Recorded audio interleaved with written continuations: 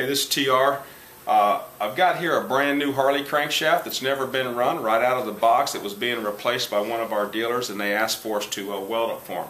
One thing I did want to show you that we are running into with just not the Harley shafts but some of the other shafts, just some of our concerns so that we can kind of educate you on the way things are happening. This is your area right here where your uh, bearing runs in your left case. This is the area right here where your bearing runs in your right. This is your pinion shaft race and this is your sprocket shaft race. So what those are the two areas that we focus on being true. And as you can see right now, this crankshaft is within a half a thousandths on the sprocket shaft side and virtually three tenths or so on the pinion shaft side.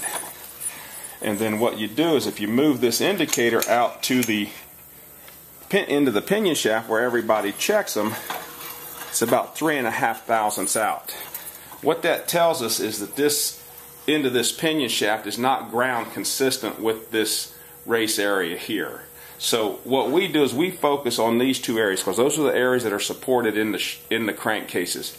If you try to true this thing perfectly here, you're just manipulating this crankshaft. After it's been in the case and it's run, been RPM'd, it will always go back. You're better to let this run out two or three thousandths and let this be non-manipulated before you weld it. So just a little tech tip. Uh, that's my opinion on that crankshaft stuff. Uh, let me know if you have any questions.